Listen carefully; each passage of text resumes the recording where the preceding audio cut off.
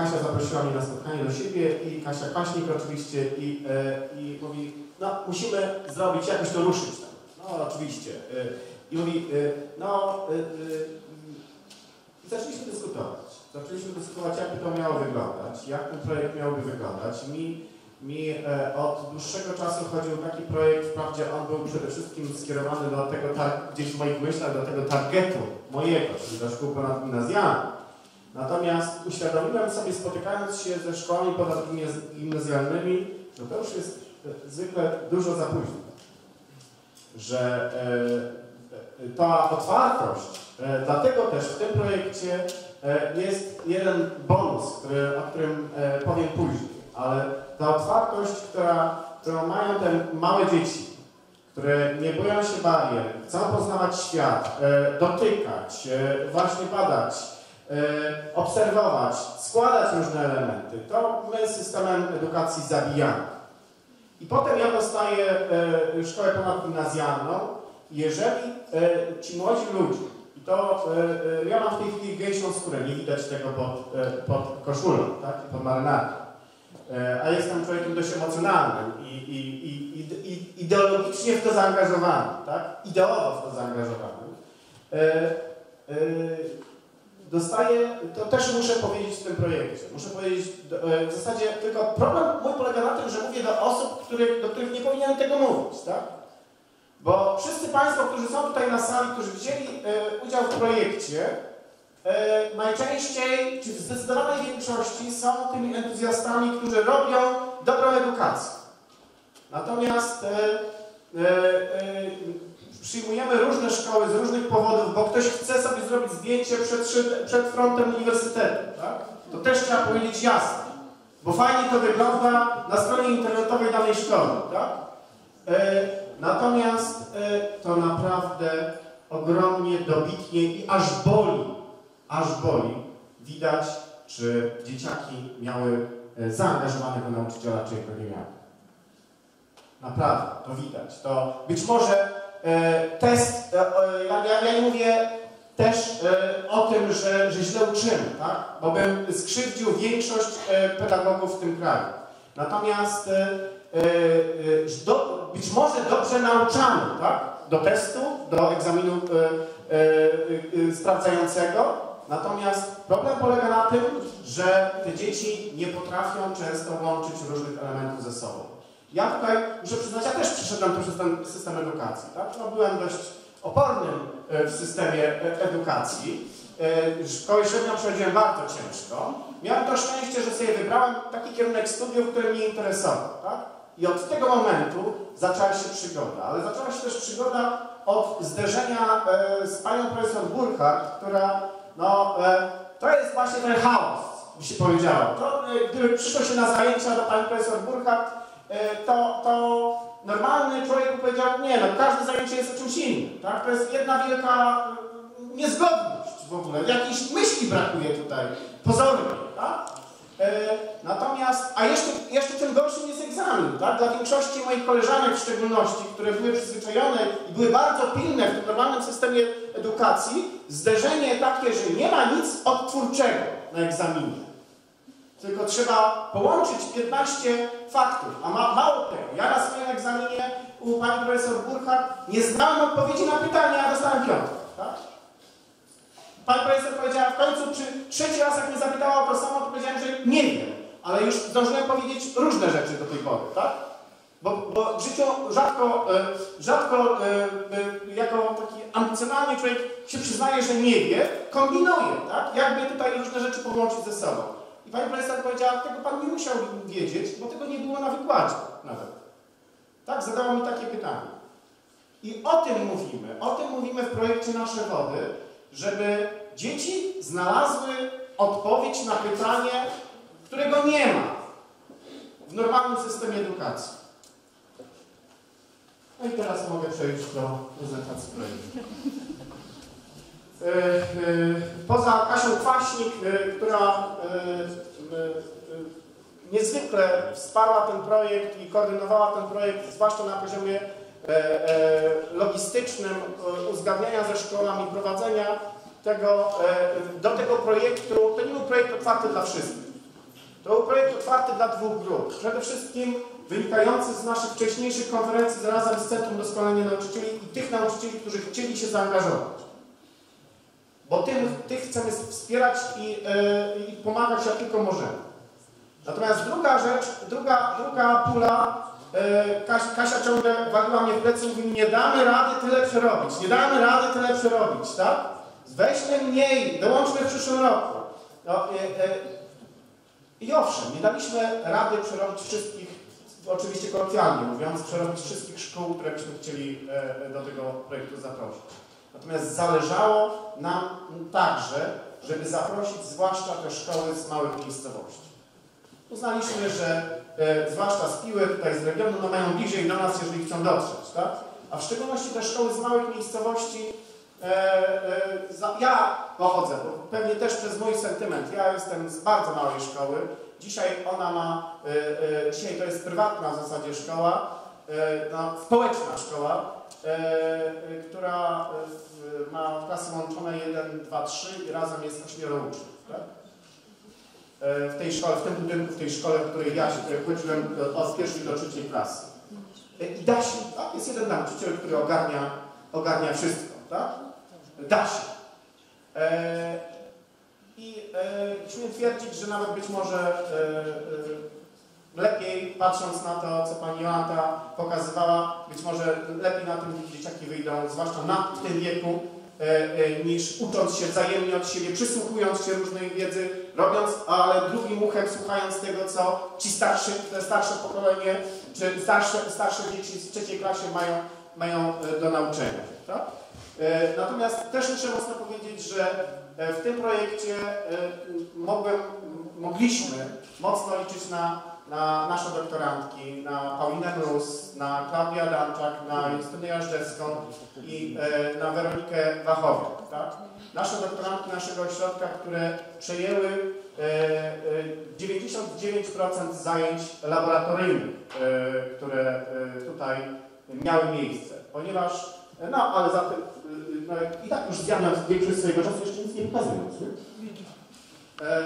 E, zacząłem od otwartej szkoły, to jest zdjęcie, które w mojej szkole moich dzieci e, zobaczyłem na gazetce i zrobiłem sobie zdjęcie aparatem telefonicznym. Zresztą większość zdjęć, które ja mam e, w tym projekcie, ponieważ no, zwykle jacyś nauczyciele robili nam zdjęcia, ale większość zdjęć to pochodzi właśnie z telefonu. Tylko, tylko ja jestem, no mówię, jak powiedziałem, mam podejście ideowe, tak? I bardzo lubię czytać starą, zwłaszcza przedwojenną literaturę odnośnie edukacji. E, czy odnośnie ochrony przyrody, dlatego że, że chodziczki e, nikomu nie trzeba przedstawiać. Zresztą no, e, jeden z profesorów także naszego uniwersytetu. Natomiast, natomiast te słowa o, o, o tym, że praktycznie na łonie przyrody można dopiero nauczyć przyrody, są tak dobitne, że aż mnie po prostu całe ciało w tej chwili boli. Tak? A jeszcze bardziej mnie zabolało, kiedy dobry nauczyciel, osiągający dobre efekty w szkole, e, mające szkołę położoną też na, na, e, na granicy Doliny Rzecznej, uczy o Dolinie Rzecznej i dzieci nawet nie wyjrzą przez okno. I to nie jest, ja wiem, ja, ja, ja, ja zdaję sobie z tego doskonale sprawę, z czego to wynika, tak? Trzeba mieć e, po, pozwolenie od rodziców wszystkich, tak? Dzisiaj nauczyciel nie może wyjść sobie ze szkoły, no, chociażby w uzgodnieniu tylko z dyrektorem. Tak? E, e, dzisiaj mamy, no, gdyby się nie daj Boże coś stało, to po prostu proces cywilny by zniszczył wszystko. Tak? Całe, całe życie tego nauczyciela. Ja, sobie, ja to wszystko rozumiem. Natomiast po to e, jest ten projekt, żeby z jednej strony, e, a z drugiej strony, zwłaszcza jeśli uczymy przyrody, no to nauczyciele jednak są z różnych zwykle dziedzin e, klasycznej edukacji. Jest to, y, o pół biedy, jeśli jest to biolog, geograf, fizyk lub chemik, tak? Ale są też inne, nie mówię, że są gorsi. Tylko zwykle jest ta pewna obawa przed środowiskiem, przed zetknięciem się na żywo e, ze środowiskiem, bo co powiem dziecku, jak dziecko zapyta o coś, jaki to jest rybaczek, tak? Czy jaka to jest roślinka, co ja powiem? Że nie wiem, to, i to, ta obawa przed powiedzeniem, że nie wiem, ciągle w nas, ciągle w nas tkwi po prostu.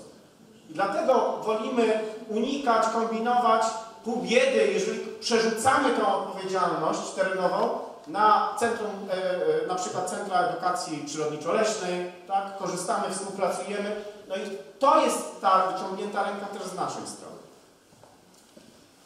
Nie wiem, czy e, e, patrząc na moje poprzedniczki e, nakręcone, nie wiem, czy jestem w stanie wejść na ten poziom, na ten poziom przekazywania swoich emocji, tak? Pan jest.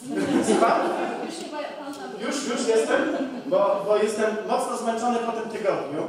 Natomiast, natomiast ja się zawsze nakręcam, ponieważ, ponieważ takimi tematami, ponieważ chcę e, e,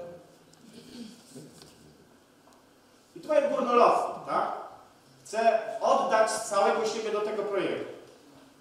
Dlatego, dlatego mi tak zależy osobiście. Ja y, mówię, y, y, nie muszę tego mówić, bo Państwo już to słyszeli, tak? Że nikt nam za to nie płaci, tak? Nikt, y, mnie się ocenia tylko i wyłącznie z nauki. Tak dzisiaj y, patrzyłem na te nowoczesne metody i na koleżankę tutaj obok mówi, chcesz, chcesz e, roześ, rozbawić ucznia, odpal prezentację w PowerPoincie, tak? E, oczywiście, tylko to jest najszybciej wrzucę zdjęcia, najszybciej nie mam czasu, tak? Zwłaszcza, że robiłem e, e, e, dzisiaj, w tym tygodniu, pięć prezentacji na pięć wystąpień każdego dnia. Danka Kitowska mówi, a może podesłałbyś mi e, prezentację dzień wcześniej? Nie da rady, tak? Bo ja ją dzisiaj pół godziny przed tym jeszcze wklejałem zdjęcia, tak? Nie da rady. Dlatego, że ja jestem oceniany z nauki, a nie z tego, żeby, nawet nie z tego, żeby być dzisiaj przed Państwem. To jest brutalne w tym systemie, ale nie z tego. E, Z publikacji w najlepszych czasopismach naukowych. Mam publikację, to mogę nic nie robić innego, tak? Niestety. E, Patrz, patrząc na to, co, co, co, co Państwo pokazywali, e, co mówiła też Monika, dla mnie sama zmiana nie jest. Ja się boję, nie, nie, nie boję się zmian, tylko boję się, jak ktoś mówi o tym, że zmiana jest e, e, sama, dobra, dobra sama w sobie, tak? Bo u mnie się wszystko zmienia, tak? Ja patrząc na młodych ludzi, to u nas, my jeszcze wy, wyrośliśmy z tego, z tego okresu, gdzie była jakaś tam stabilność, tak? A dzisiaj, dzisiaj e, no właśnie jak się odłączy młodego e, człowieka od sieci, o tym, o czym mówiła Pani Jola, że, że e, e, nasz mózg nie jest przyzwyczajony do, do czytania książki, do wyłączenia tego świata obok, tak? Jeżeli ich odłączymy, to brak zmian, to to jest taka zmiana, z którą sobie e, nie, da, nie, da, nie dają rady w ogóle, tak? Pokazuję, e, bardzo często używam tego slajdu, tak? Bardzo często używam tego slajdu, dlatego że teraz mam jeszcze za sobą gdzieś jakieś 100 zdjęć, proszę Państwa, także nie widziałem. E, e, e, pokazuję to zdjęcie, żeby e, uświadamiać nam wszystkim, że żyjemy w niezwykle ciekawym regionie Polski, tak? E, O ile, e, i tu jest to, co ja mówiłem, mówiłem wcześniej, o, o problemie swojszczyzny, o problemie przekraczania progu naszej szkoły, o tej otwartości szkoły, to wszystko się pięknie wiąże, tak? Bo, bo swojszczyzna dla mnie to jest ten teren właśnie e, e, za domem, za płotem, ale też za progiem szkoły. O ile mamy tą tożsamość i to, to poczucie tożsamości związane z, z e, naszą miejscowością, to tyle już z gminą, z powiatem, z regionem, z krainą. Jakie mamy poczucie? Tak? Prawie że żadne. Mówi się o tym coraz więcej, ale pytanie jest, jakie ja mam poczucie tożsamości regionalnej. Jakie ja mam poczucie też odpowiedzialności za ten, e, e, za ten e, obszar. Moi koledzy, jak pojadę do Poznania, to mnie pytają, no dobrze, gdzie opublikowałeś i co? To gdzie, gdzie złożyłeś do druku, co złożyłeś do druku, tak? To co ci przyjęli? To jest pytanie, które się stawia na uniwersytecie, tak? A ja pytam, co użytecznego, co pożytecznego zrobiłeś dla społeczności, w której, w której e, mieszkasz, z którą funkcjonujesz, e, e, z którą jesteś i tak dalej. Poza tym, że też staram się publikować, tak? Z Anią Kałką kiedyś napisaliśmy takie, taki właśnie tekst. Powróćmy do starych idei szkolnej edukacji przyrodniczej. I w zasadzie na tym, na tym bym mógł e, e, zakończyć. E, dlatego dla pozwólmy dzieciom wyjść. Wiele rzeczy się nie udało w tym projekcie. Ja mógł mówić o tysiącach rzeczy, które się nie udało zrobić. Tysiącach rzeczy, które, które chciałbym zrobić, a, a z drugiej strony o, tej, o tym właśnie dylemacie, tak? O tym dylemacie pomiędzy tym, co... Bo ja wystarczyłbym, żebym wyszedł, nie musiałbym iść nawet do rezerwatu później, żebym wyszedł tutaj do lasu i pewnie byłoby to być może nawet lepsze i ciekawsze, bo, bo e, e, zainspirowałbym do innych rzeczy, tak? Natomiast e, ja mam ten dylemat, jak pokazać w przepięknym rezerwacie później e, różne wątki, które ja chciałbym od razu tym dzieciakom e, e, wtłoczyć. E, moment.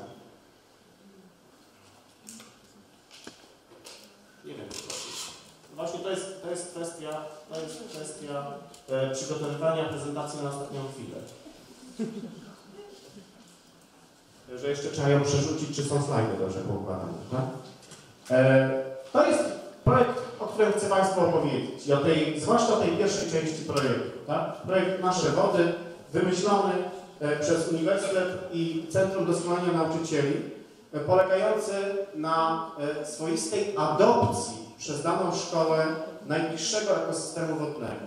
Oczywiście, Państwo mogą powiedzieć, że robię to z pobudek takich bardzo egoistycznych, tak, bo mam kierunek gospodarka wodna, mam kierunek turystyka i rekreacja tutaj w obiekcie, no i teraz próbuję e, nakłonić młodych ludzi, żeby przyszli do mnie studiować, tak? No, gdybym próbował nakłonić, bym projekt tylko otworzył e, i skierowali byśmy go razem z Kasią e, na szkoły ponadgimnazjalne. Natomiast, e, tak jak powiedziałem, nie o to chodzi.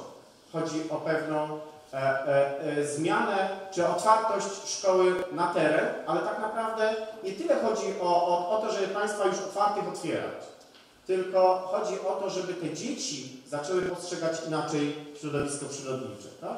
Dlaczego jest rezerwat Kuźnik? Dlatego, że on jest kwintesencją historii naszego regionu, kwintes- kwintesencją przyrody, e, ochrony przyrody, tej niemieckiej, polskiej, wszystko co było niemieckie do niedawna było B na naszym terenie, bo my jesteśmy tak jak Warmia tym terenem e, pogranicza i, i e, nic Państwo z, z zabytków poza kościołami nie znajdą w terenie. E, Poza tym, poza tym jest doskonałym przykładem właśnie tego, że swojszczyzna była najistotniejsza zarówno dla tych, którzy mieszkali tutaj przed wojną, jak i dla nas dzisiaj. Tak? Czyli e, niezależnie od narodowości, od religii, od, od e, wszelkich e, postaw życiowych, najważniejsza była ta idea ochrony e, jednego z najpiękniejszych, z najpiękniejszych fragmentów e, przyrody w naszym regionie. Przy okazji dzisiaj można tych dzieciaków w różnym wieku e, nauczać o różnych, o, różnych formach ochrony przyrody, bo będąc w jednym rezerwacie później, tak naprawdę jesteśmy na terenie dwóch obszarów Natura 2000, Siedliskowa Mosta Jarpińska i Litasin, Puszcza nad Gdą, na terenie dwóch rezerwatów, bo i w rezerwacie Kuźnik i przyległym do nim nowiutkim rezerwacie, rezerwat Kuźnik w przyszłym roku ma 90 lat. Natomiast e, e, przyległy ma jeszcze, e, e, w styczniu został tego roku powołany. E, a poza tym na obszarze chronionego krajobrazu. I e, to wszystko daje potężne pole, e, patrząc na zróżnicowanie przyrodnicze, geomorfologiczne, siedliskowe, użytkowania człowieka, wykorzystania tego, tego, tego e, terenu, daje potężne pole do, do edukacji. Starałem się uświadomić z moim zespołem, starałem się uświadomić dzieciakom, jak że patrzymy na las, co przechodzimy przez las, ale tak naprawdę jesteśmy co chwilę w innym lesie. I to ze względów e, na warunki naturalne, jak i ze względu na wykorzystanie tego lasu przez człowieka w historii. E, zaprzestanie wypasu, czy też sadzenie w, w e, na grządkach, tak? W grządku i pod kijem. To wszystko tam widać, tylko trzeba się zatrzymać i o to chodziło w tym projekcie, żeby się dzieciaki często zatrzymywały i rozglądały wokół siebie. I zadawały sobie pytanie, dlaczego tak jest? Jedno z fundamentalnych pytań w, e, w postrzeganiu e, świata. Dlaczego tak jest? Z czego to wynika? Nie tylko jak, żeby opisać e, stan. Bo tak właśnie jak, to też jest jedno, jedno z tych bolą, bolączek dzisiejszej edukacji, że pokazujemy dziecku, jak to jest zrobione, Ale dlaczego to funkcjonuje tak? Dlaczego to jest tak zrobione? Często sobie tego pytania nie zadaję. I e, teraz e, e, nie jesteśmy w stanie pokazać całego rezerwatu później. 3,5 godziny, 4,5 godziny, 5 godzin spędzaliśmy, 5 godzin mniej więcej lekcyjnych spędzaliśmy w rezerwacie Kuźnik, pokazując fragment rezerwatu.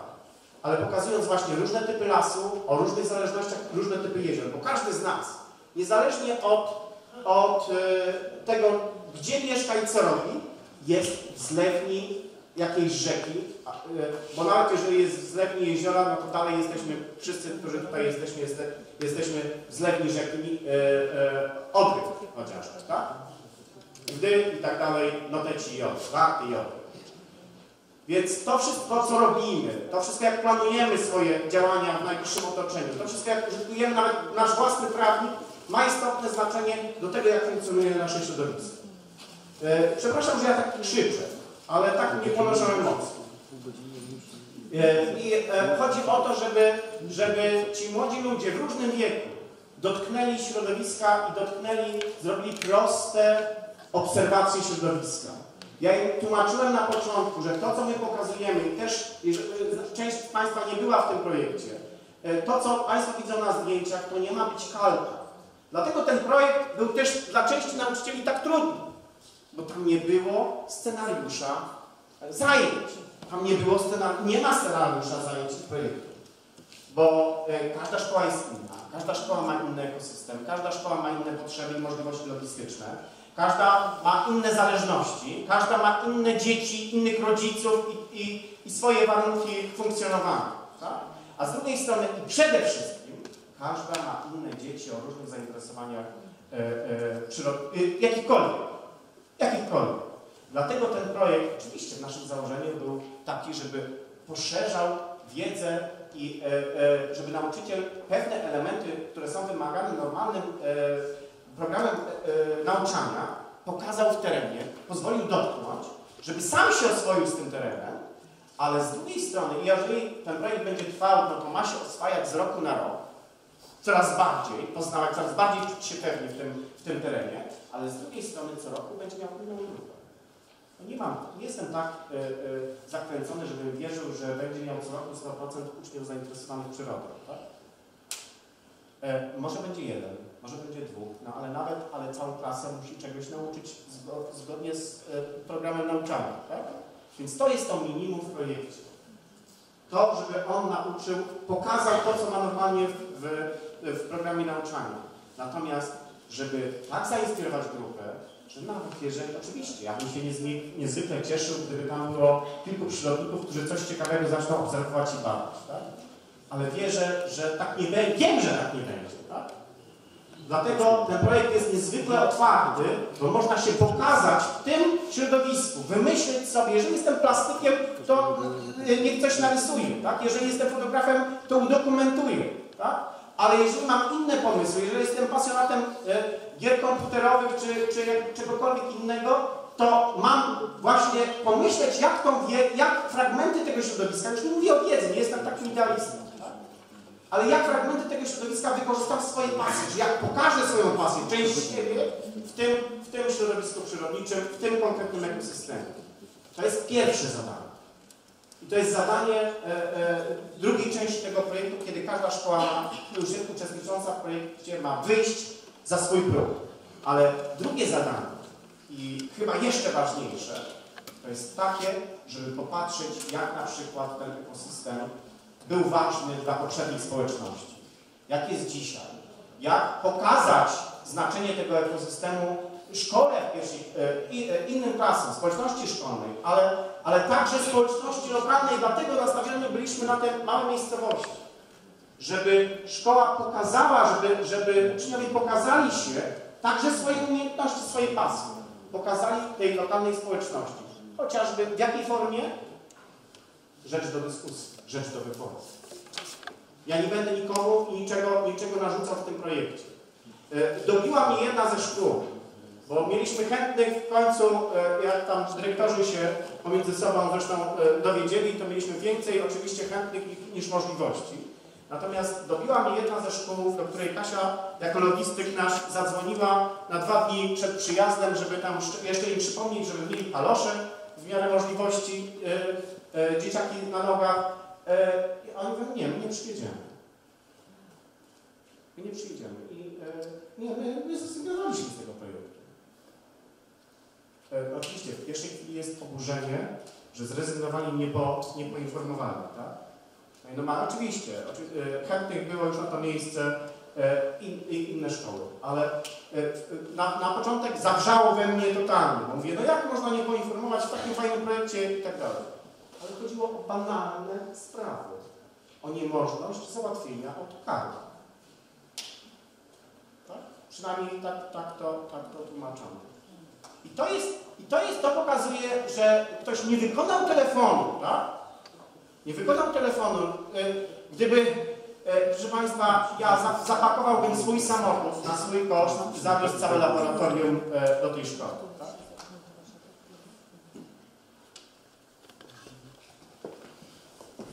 Ja wiem, Kasiu, że Ty już stajesz, a ja jeszcze chcę Państwu przerzucić parę zdjęć, proszę Państwa, bo to są proste, to są proste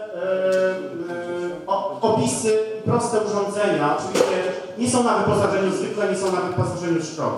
Ale my też oferujemy to, że możemy przyjechać do, do szkół i możemy y, te obserwacje zrobić. To są tradycyjne zapiski, a tak wyglądają zapiski e, e, w starszych grupach wiekowych, ponieważ tam zwykle kajetu nie ma, no i po co, jak jest telefon, tak?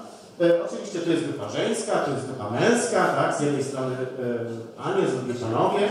E? E, chodzi też o to, żeby na własnej skórze i na własnych nogach poczuć, czym jest zlewnia i że ta woda spływa, to trzeba wejść na ten blok do góry, tak? Trzeba wejść na ten blok do góry. Przy okazji można, jak się odpowiednio zachowuje, to można zobaczyć różne elementy przyrody, tak? Zobaczyć rzadkie, nietypowe i powiedzieć o bezpieczeństwie przy okazji w terenie. E, no i także cokolwiek za, namalować i zanotować Danusiu. Więc e, można, można, również, można również tak. Tych grup było bardzo wiele, bardzo różnych, jak Państwo zwrócili uwagę, pewnie nie, pierwsze zdjęcia były zielone, tak? Roślinność była zielona jeszcze we wrześniu, a pod koniec października już było, no, albo można się pobawić na przykład będąc bobrem, czy, czy poczuć się jak wiewiórka, czy jak dzięcioł, tak? Dlatego, że to są niby błahostki, ale pokazujące, jak na przykład zwierzęta, różne zwierzęta różnie korzystają z tych samych zasobów. Jak, I przy okazji, to nie, są, to nie jest e, opowiadanie ciekawostek, żeby, je, żeby opowiedzieć, tylko przy okazji zwrócić uwagę, że człowiek też, na przykład patrząc na las, na e, e, różne typy lasu, które tam są, jak człowiek wcześniej wypasał, a co dzisiaj z tego drzewostanu pozostało, tak? Wcześniej drzewostan wybitnie zależny od wypasania. Czy też e, korzystanie z boru bagiennego, jak to było w historii, do czego babcie wykorzystywały różne rzeczy, tak? I, e, i e, takie rzeczy, a potem oczywiście pobieramy próby w, e, w terenie i przenosimy je do laboratorium, żeby jeszcze kilka rzeczy, żeby jeszcze kilka rzeczy zbadać w laboratorium. A jeżeli laboratorium jest w trzech grupach i po pięciu godzinach w terenie, po trzech zajęciach laboratoryjnych, to już można posiedzieć tam. To już nie da się, to już nie da się niczego wykrzesać, tak? Każdy już myśli, Boże, kochany, jak jestem zmęczony i jak już mi się nie chce. No to, to właśnie wynika z tego, że niestety musimy połączyć e, logistykę e, i chcemy zrobić jak najwięcej w tym krótkim czasie, tak? Normalnie zajęcia potrwa, powinny trwać góra 3 godziny. Ale my, jak już ktoś ma pieniądze, znalazł pieniądze na autokar, to staramy się wykorzystać maksymalnie, maksymalnie ten czas. Albo pobawić się w lądolód i poszurać sobie kostką lodu i popatrzeć, jak ten rezerwat, jak, te, jak, te, jak ta y, dolina y, y, powstała. Tak? No, nie, nie, da się tego zrobić, jeżeli się nie pobawię w lądolód. Tak? Czy, czy pobraliśmy próby i zerknąć, zerknąć na, te, na ten materiał właśnie pod różnymi mikroskopami, zarówno z jeziora właśnie zanieczyszczonego, a z jeziora czystego, żeby dzieci widziały, y, czym to się różni, tak? Bo widzą tylko wodę. Ale żeby poznały, a w każdej szkole lepszy lub gorszy jest, a proszę mi wierzyć, że ja, e, Państwo narzekają, widząc nasze mikroskopy w tej chwili, narzekają, że mają jakieś tam stare lusterkowe i tak dalej. Stare lusterkowe to ja miałem na studiach. Jakoś daliśmy radę. No i bonus specjalny e, to jest e, przedszkole. E, Ten projekt nie był nastawiony na przedszkole, bo, był, bo był nastawiony na pokazywanie przede wszystkim właśnie w tym pierwszym, na takie większe idee towarzyszyły temu. Natomiast jedno z przedszkoli bardzo się dobijało o to, żeby ono też chciało, myśmy robili zajęcia dla, dla, dla przedszkolaków również, ale żeby w tym projekcie uczestniczyć. Oczywiście te dzieciaki nie dałyby rady fizycznie przejść przez rezerwat Kuźnik tak, jakbyśmy chcieli, ale ma właśnie ten ekosystem wodny dwa stawy blisko szkoły. I właśnie o to chodzi, żeby też e, takie rzeczy, inne zajęcia na tym poziomie, e, na którym dzieci są w stanie e, pewne rzeczy doświadczać, można, można e, e, przeprowadzić.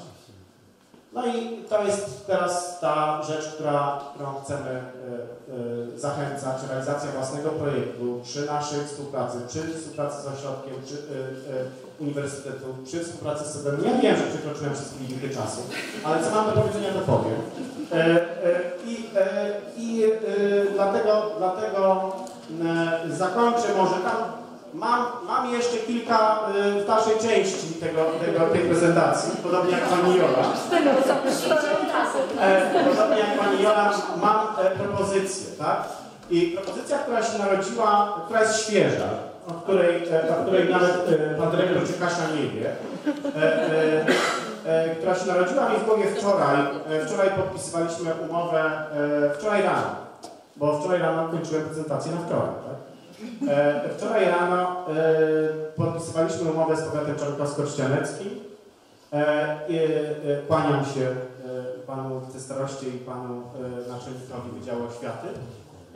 I ze szkołą, jedną ze szkół w Trzciance, która, no, akurat ta szkoła ma kierunek ochrona środowiska w techniku, bo to jest zespół szkół ponadgimnazjalnych imienia Henryka Sienkiewicza w Trzciance.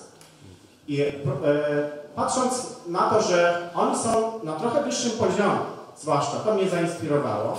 I e, e, chciałbym, żeby w każdym powiecie powstała jedna, dwie szkoły, które będą takimi centrami e, doskonałości środowiskowej. E, tak, tak, Karolina, na Ciebie też patrzę. E, e, I e, żeby, żebyśmy tam wspólnie, razem ze szkołą, razem z CDN-em, razem z, no i my, żebyśmy wspólnie e, prowadzili to, to, ta, taki, takie właśnie projekty, tego typu projekty, ale w tym realnym oddziaływaniu szkoły, tak? Dla szkół niższego, dla dzieciaków z niższego etapu edukacyjnego. To znaczy, no, tutaj też jest jasne, że dla waszego targetu, tak? E, dla szkół podstawowych, e, ale także dla przedszkola. I to się da zrobić, w to wierzę. Kasia też wierzy. Dziękuję Państwu bardzo.